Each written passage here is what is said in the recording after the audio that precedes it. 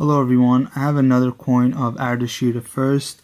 He's the first ruler of the Sasanian Empire. He ruled from 224 to 242 CE. Now on the obverse of this coin you see Ardashir facing right. He's wearing his second crown. Uh, he's also wearing a diadem that comes off to two ribbons in the back. At the top you see what's referred to as the globe.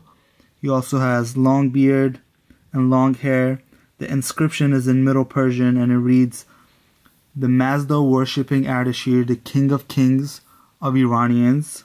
Now on the reverse of the coin you have